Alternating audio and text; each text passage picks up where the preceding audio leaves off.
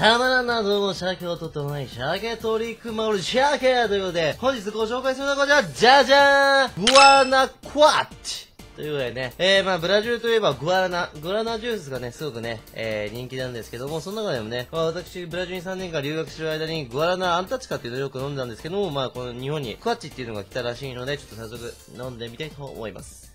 クマンパイぐーやっぱグアナっていいね。美味しい。うん。あー。